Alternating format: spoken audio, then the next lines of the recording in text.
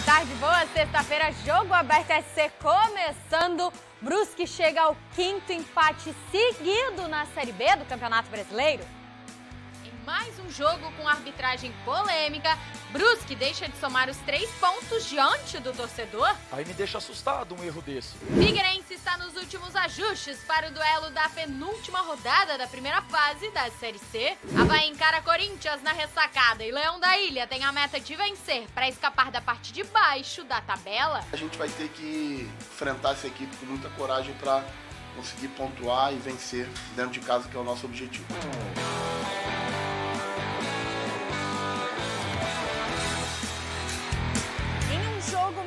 Por polêmica de arbitragem, o, o Brusque ficou no empate em casa com o Sampaio Correia.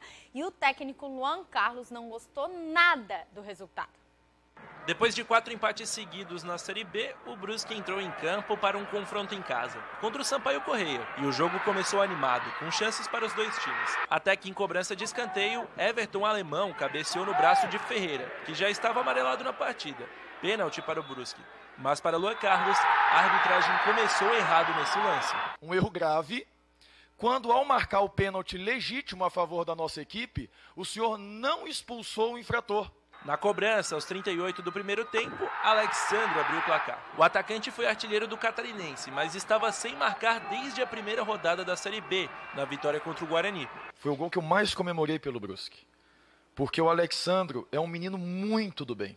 No segundo tempo, Sampaio chegou ao empate logo no começo, aos 3 minutos. Igor Catatal recebeu o cruzamento e marcou de cabeça, deixando tudo igual, 1 a 1. E foi no segundo tempo que a polêmica maior aconteceu. Brusque chegou ao segundo gol com o Patrick, mas o VAR anulou em lance para lá de polêmico. Aí me deixa assustado um erro desse.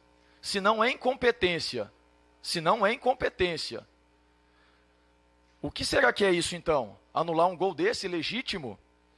Uma vergonha uma vergonha a arbitragem no futebol brasileiro. Nosso departamento jurídico tomarmos algumas providências para que possamos, no mínimo, levar ao conhecimento da CBF e para a diretoria de arbitragem o que está acontecendo contra o Brusque aqui no estádio Augusto Bauer. Fim de jogo Brusque 1, Sampaio 1. O quadricolor volta a campo na próxima terça-feira em Maceió contra o CSA. Com o um empate, o time chegou ao sexto jogo sem vitória na Série B. Não foi a nossa melhor apresentação no campeonato, mas acho que a gente fez um bom jogo. Acho que os meninos estão de parabéns, se entregaram muito. E todo jogo da Série B vai ser muito competitivo, vai ser muito brigado. E a gente vai conferir a 22ª rodada da Série B. Ela encerra no final de semana, mas os três catarinenses já entraram em campo, todos empataram e a gente vai conferir como está a classificação da Série B. Líder o Cruzeiro com 46 pontos, seguido de Vasco 39, Bahia 37, Grêmio também 37, fecha o G4. Aí vem o Tombense com 32, seguido de Esporte 31, Londrina 30, Sampaio Correia 29, Criciúma é o nono colocado com 29 pontos, na décima posição CRB com 29 também. Do outro lado da tabela tem o Novo Horizontino 27, Ituano 26, Ponte Preta também 26. Vem o Brusque na 14ª posição com 25 pontos, seguido da Chapecoense com 24, o Operário tem 21. E a zona de rebaixamento, CSA 20, Guarani 19, Náutico 18 e o Vila Nova, o Lanterninha com 18 pontos somados. E olha só, tem movimentação no mercado da bola lá no oeste da, de Santa Catarina. De acordo com a Chapecoense, o atacante de 27 anos, William Pop, chega a Chapecó, chegou a Chapecó ontem à noite e deve assinar em breve com o clube. Pop volta ao Brasil depois de três temporadas jogando no futebol da Tailândia.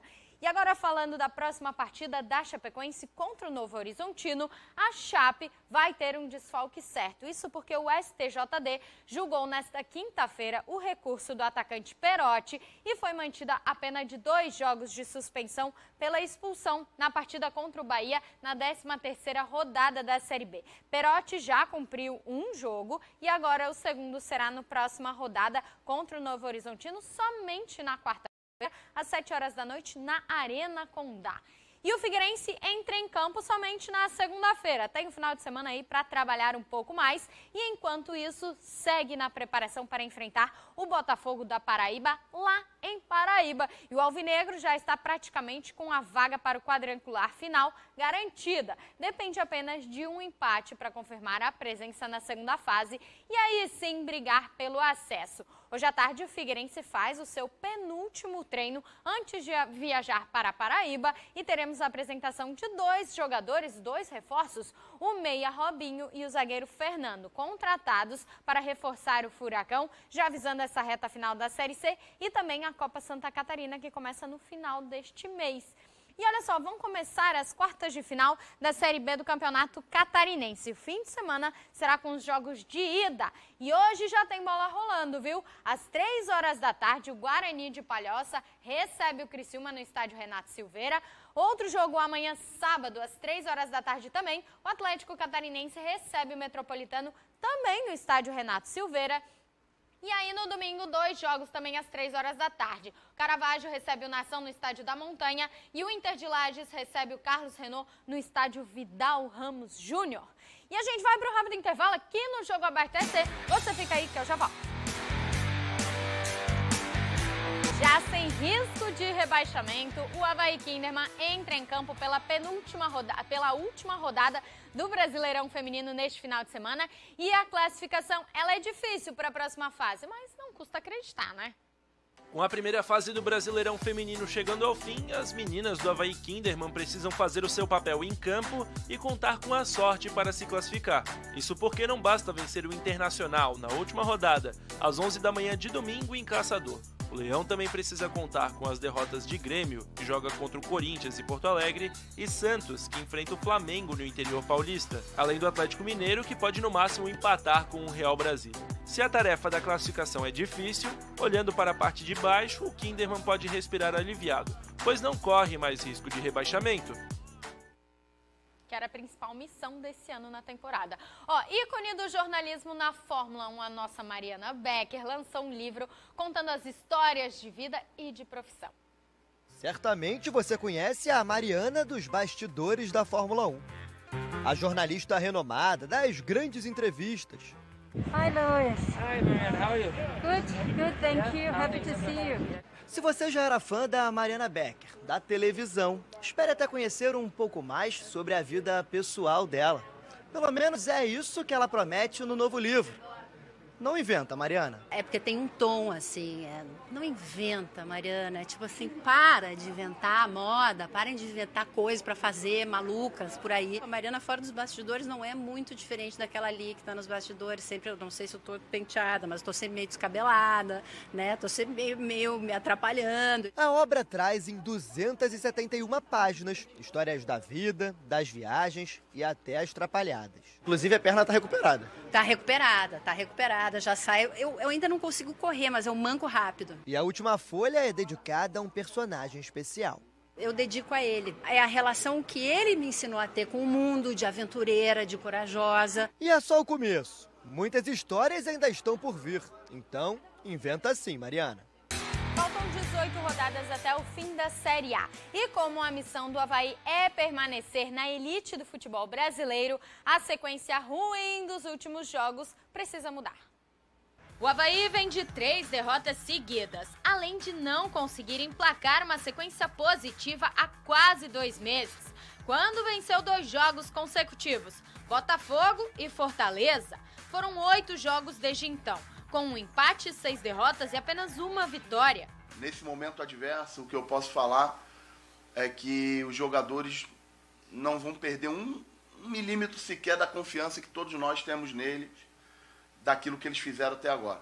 E a gente vai continuar assim até o final para brigar pelo nosso objetivo. E algo que anda incomodando torcida e elenco é ser a pior defesa da Série A, junto com o Juventude. São 33 gols sofridos em 20 partidas. É algo que a gente tem trabalhado muito, na verdade, é o tema até central da, da nossa semana de treinamento, da nossa semana de trabalho, para que a gente faça os ajustes de posicionamento, de encaixe de área, de diminuição de cruzamentos, de bloqueio de chute fora da área. É importante a gente retomar essa, essa nossa confiança ali atrás para a gente poder também ajudar o pessoal da frente. Manter a calma e seguir no foco de somar o número mágico pela permanência na Série A.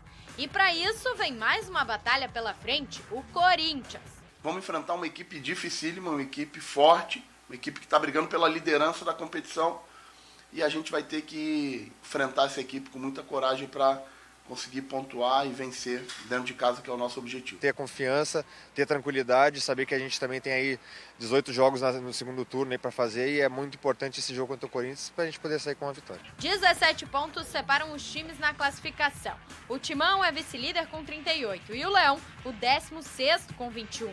O time paulista vem de três vitórias no Brasileirão, mas perdeu no meio da semana para o Flamengo pela Libertadores o que causou desconfiança da torcida. E o técnico Vitor Pereira deverá vir a Florianópolis com time misto. E é neste momento do Corinthians que o Havaí quer acabar com a má fase que vive e voltar a vencer, onde tem dado alegrias ao torcedor na ressacada.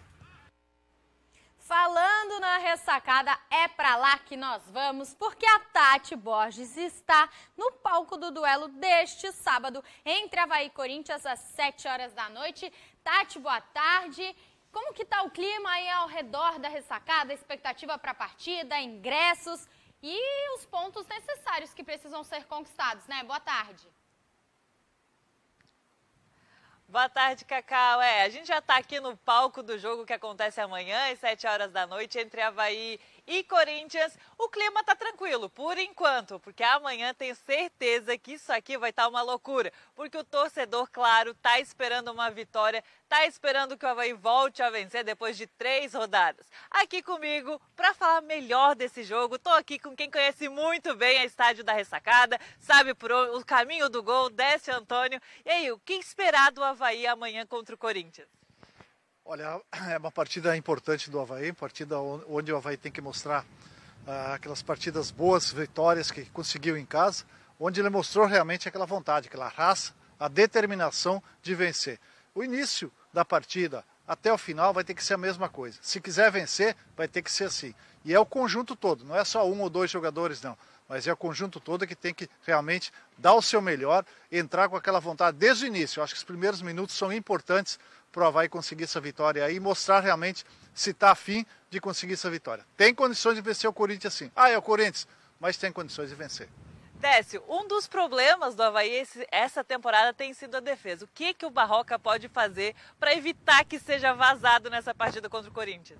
Olha, é importante que a, a equipe toda, principalmente com os três volantes que jogam ali, o Ranelli, o Eduardo e o Bruno, também se recompõe melhor durante a partida, principalmente o que aconteceu, não dá para aceitar contra o América, né? vencendo a partida e o Havaí depois ficou disperso na partida toda. Então tem que se, se, ter um pouco mais de união, conversar um pouco mais. Eu acho que tem, os jogadores são experientes já, da zaga também, o Bressan principalmente, o goleiro, o Vladimir, e no, no meio o Bruno ali. Eu acho que o comando tem que ser muito importante desses jogadores e a cobrança entre eles para você se unir e chegar a essa vitória que tem condições.